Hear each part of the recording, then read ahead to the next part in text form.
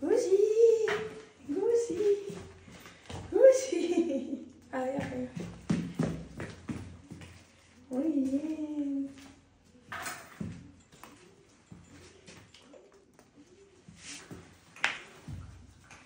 Así.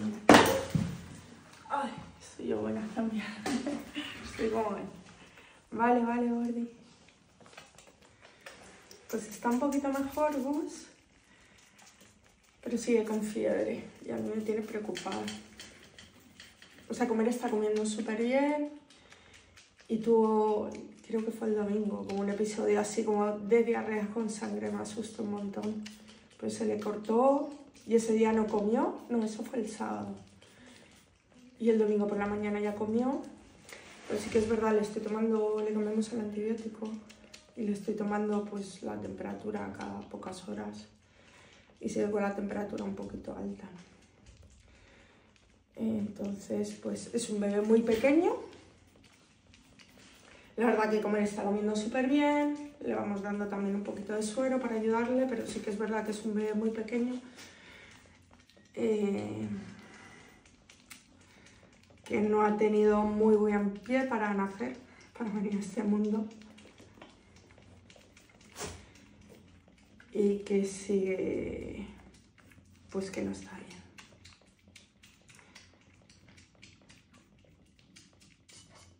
bien. Llevamos todo el fin de semana aquí en casa. Mi madre griposa y yo, yo con ella haciendo el vago. Sí, yo enfermito también, ¿eh? Y le he cogido un cariño. O sea, no podéis hacer una idea de lo dulce. Y lo, le veis muy activo ahora con el vive, pero sí que es verdad que el resto del tiempo está dormido. Se le nota mucho que está enfermito pues porque está dormido, no quiere jugar, no se mueve. Pero 30 minutos antes de que se tome el vive, que está tomando como 100 mililitros cada 3 horas, eh, se despierta y empieza a buscarme por todas las habitaciones. ¿Eh, Gusi? ¿Quién es un bebé pequeñito? ¿Quién es un bebé pequeñito? ¿Te va a poner tú bien? No me gusta verte malito, no me gusta. ¿Mm? No me gusta. Quiero verte bien, hombre.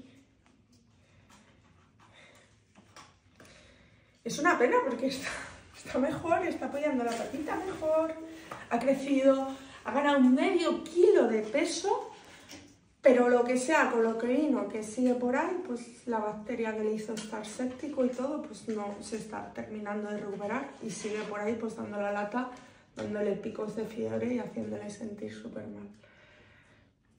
Así que hay que ponerse bueno. ¿Me das un besito? Mira, mira que te vea la gente lo guapo que eres. Mira, yo le llamo Sherkush.